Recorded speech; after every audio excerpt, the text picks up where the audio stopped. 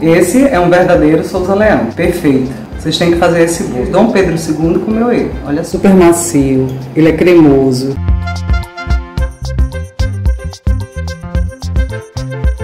Bem-vindos ao meu canal, sejam bem-vindos que estão chegando aqui pela primeira vez. Quem está aqui na minha comunidade, quem está aqui inscrito no meu canal, sabe que pelo menos duas vezes por ano eu me dedico às comemorações da época. Então, em dezembro do ano passado, foi um cardápio no final do ano, e todo mês de junho, eu, como nordestina, dedico à culinária do Nordeste. Sou especialista em culinária regional, professora de arte culinária, e a cada final de vídeo que vocês assistirem, passem lá na descrição, eu sempre deixo um pouquinho da história daquele, daquele alimento, para vocês conhecerem como surgiu, que origem é. Mês de junho está dedicado à comida nordestina, mas a gente tem todo ano se dedicando a várias culinárias de várias regiões do Brasil, algumas do mundo. Então é muito importante que vocês se inscrevam para não perder nenhum vídeo que eu postar por aqui, tá certo? Então é isso, preste atenção nos ingredientes, na receita e não perca nenhum detalhe. E para continuar fazendo homenagem às comidas do Nordeste, dessa vez a gente vai homenagear um patrimônio cultural e imaterial lá de Pernambuco, o bolo Souza Leão. A gente vai precisar 4 xícaras de açúcar, eu estou usando um copo americano na borda. De preferência o açúcar branco, se tiver o cristal, melhor para qualquer doce. Meio quilo de massa de mandioca. Se você não encontrar, você pode ralar a mandioca, igual eu fiz no vídeo do ano passado, quando eu fiz o beiju. Você também pode encontrar em outros estados e outras regiões do Brasil, como massapuba ou carimã. Uma xícara de manteiga sem sal. 400 ml de leite de coco, de preferência fazer em casa, mas se você não puder fazer ou não souber, você pode comprar duas garrafinhas já pequenas, 400 ml. E seis gemas. Aí tem quatro porque eu estou fazendo metade da receita, mas a receita certinha vai estar tá lá na descrição do vídeo, vão lá que eu coloco além de tudo um pouco da história. Mas são seis gemas para essa quantidade que eu dei até agora. Aí tem quatro porque eu vou fazer meia receita e eu estou usando ovos médios. Sal. Se você tiver só manteiga com sal, aí você não usa a pitadinha de sal que eu vou usar aqui. Em uma panela, a gente vai colocar o açúcar, as quatro xícaras de açúcar, que aqui nesse caso eu estou usando duas, que eu estou fazendo meia receita.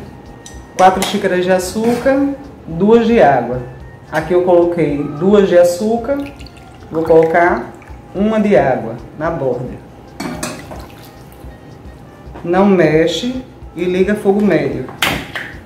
E deixa aí sem mexer. Se você mexer, ele vai açucarar. Deixa o açúcar dissolvendo devagarzinho, que aí a gente entra com o próximo ingrediente. Quando chegar no ponto eu mostro a vocês. Essa calda tem que ser a primeira coisa a ser feita, porque depois ela vai ter que esfriar para poder entrar no bolo. Esse bolo, ele vai para o forno em banho-maria. Forno super quente, o mais, mais potente que você tiver, de 200 acima, se puder. Se só tiver 180, não deixe de fazer não. Mas a forma, a gente vai untar ela somente com manteiga ou margarina, de preferência manteiga, né, sem sal.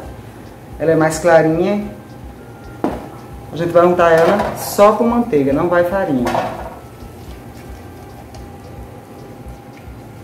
e pode untar bem. Vou só mostrar a vocês, ó. Vai boiar porque tá sem nada, depois a massa senta. Colocar aqui um dedo, um dedo e meio de água.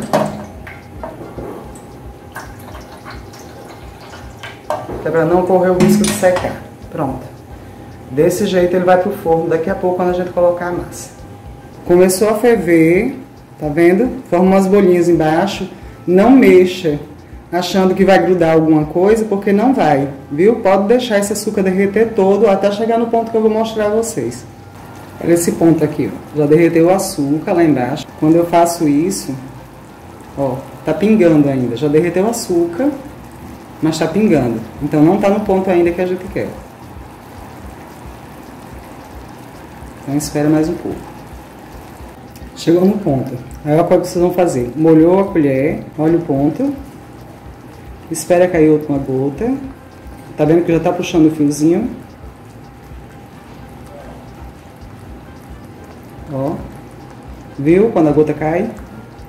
Pronto, aqui tá ótimo. E olha como é que ele tá. Bem espumoso. Desligo o fogo e vou colocar, nesse caso aqui, meia xícara de manteiga.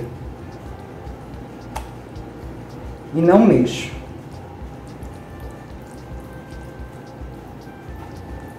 Deixa aí derreter e esfriar, ou no mínimo ficar bem morno que você consiga colocar a mão. Aí eu usei meia xícara de manteiga, que deu 80 gramas. Então de 80 a 100 gramas não modifica muita coisa não, desde que seja sem sal. A com sal, se você botar 100 gramas, vai dar um toquezinho mais salgado do que deveria. Agora a gente vai fazer a massa. A minha calda já está fria, tá morninha. E aqui, ó a consistência dela. Tá vendo? É importante que fique nessa consistência aqui. Você de vez em quando, quando tirar do fogo, vai lá, mexe para a manteiga entrar. E quando, quando der para botar a mão, já tá ótimo. Aqui eu vou misturar a massa, massa puba, massa de mandioca ou carimã, depende do, da região onde você tá. As gemas.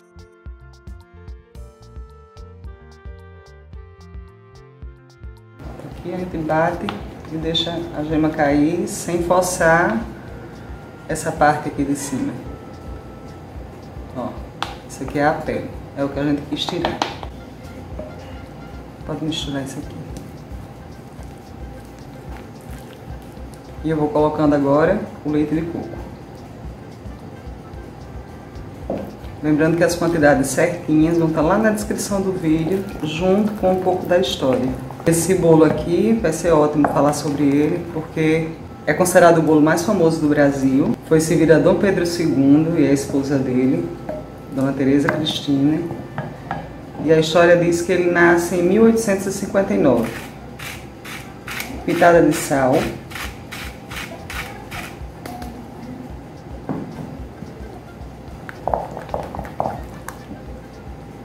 Leite.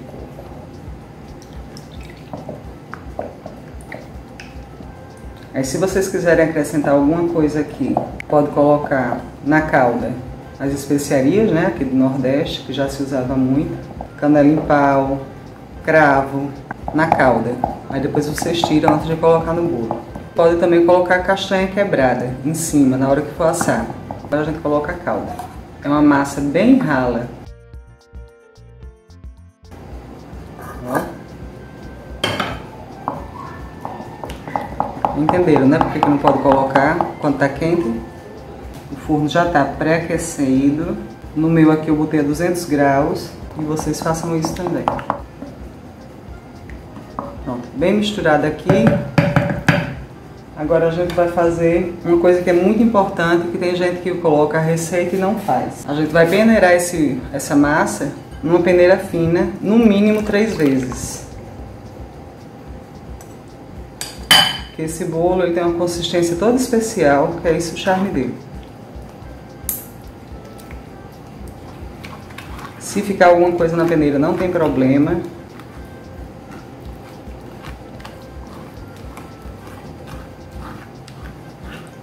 Mas tem que passar na peneira. Tem gente que passa no liquidificador e coloca lá na forma pronta. Aí deixa de ser um Souza Leão. Tem gente que coloca coco na massa, aí deixa de ser um Souza Leão. Botei pra cá, agora volto pra cá.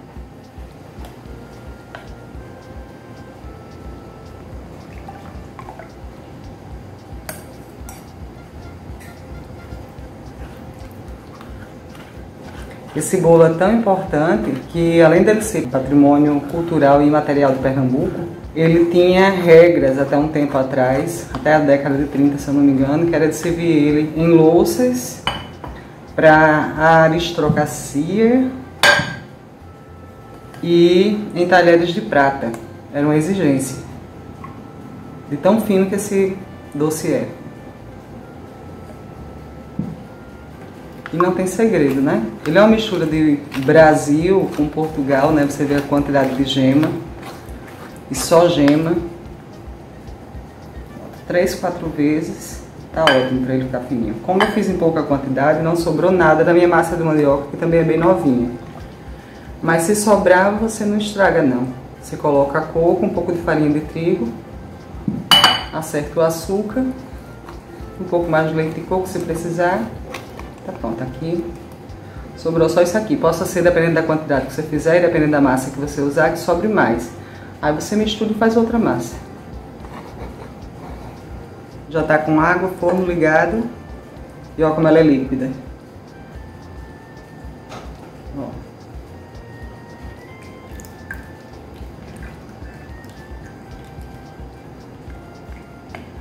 Comentem aí se vocês estão acompanhando as aulas do mês de junho.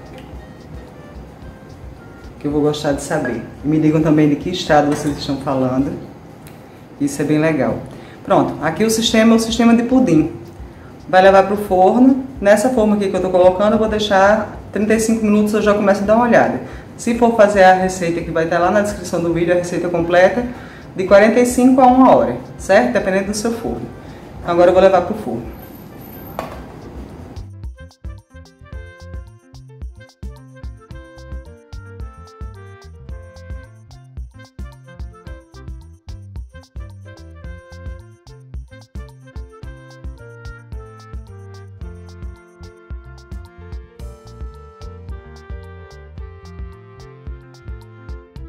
Como ele fica douradinho em cima e é para estar tá amarelinho, claro ou não, vai depender muito da gema. Mas da manteiga também, a manteiga também auxilia nisso. Mas eu coloquei aqui um pouquinho na grade, só para dar uma circulada. Mas esse bolo você já pode virar ele quente, se você quiser. Ele vira bem, certo? Eu vou deixar só ele amornar um pouquinho, vou nem deixar esfriar por completo. Aí vocês vão ver a textura dele por dentro, quem não conhece, né? E o cheiro é maravilhoso. Vocês têm que fazer esse bolo. Além de ser o bolo mais famoso do Brasil, é um bolo que foi estudado por historiador Paulo Freire, se eu não me engano. Então vale a pena. Vão lá na descrição do vídeo, vejam tudo.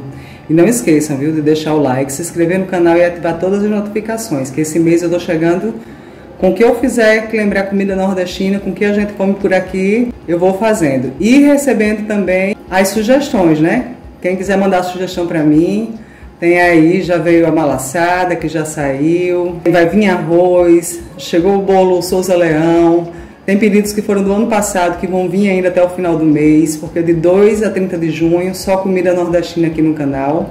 E eu vou aparecendo além da terça e sexta, às 19h45, que eu sempre estou aqui com vocês, eu vou aparecendo qualquer dia da semana. Senhora, consegui editar um vídeo, o vídeo entra no ar. Então se, li, é, se liguem nisso, se inscrevam e ativem as notificações. E esse chorinho que vocês estão escutando é da minha gata que está querendo passear. Então eu vou abrir a porta para ela e vou esperar o bolo amornar um pouquinho. Em homenagem a esse bolo, eu vou colocar um prato prateado, mesmo que seja bem maior do que a minha forma. Olha o tamanho. Ó.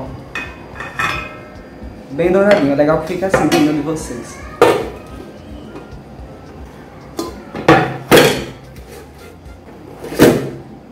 Olha o barulho. Olha que lindo. Esse é um verdadeiro Souza Leão, dessa cor, bem amarelinha, com aquela partezinha dourada. Perfeito. Vocês têm que fazer esse bolo. Eu vou cortar para mostrar a vocês por dentro a textura dele.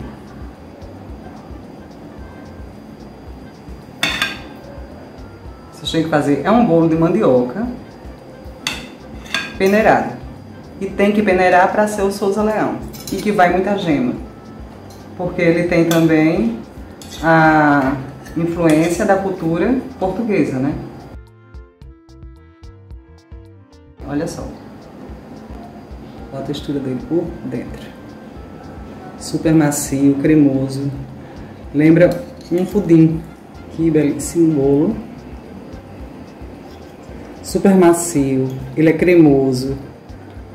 É muito bom, muito bom. O cheiro ele não vai coco, vocês não devem querer colocar coco na massa, mas não precisa. O cheiro de coco aqui é predominante. Hum. Se vocês fizerem, me marquem lá no Instagram, que vocês já viram aí, arroba culinária underline da underline Jana, em homenagem a esse bolo maravilhoso. Lá, culturalmente, fazem muito no São João. Então, espero vocês no próximo vídeo. Mês de junho, só culinária nordestina.